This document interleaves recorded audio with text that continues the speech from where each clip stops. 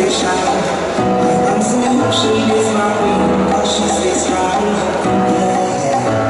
is always in my car.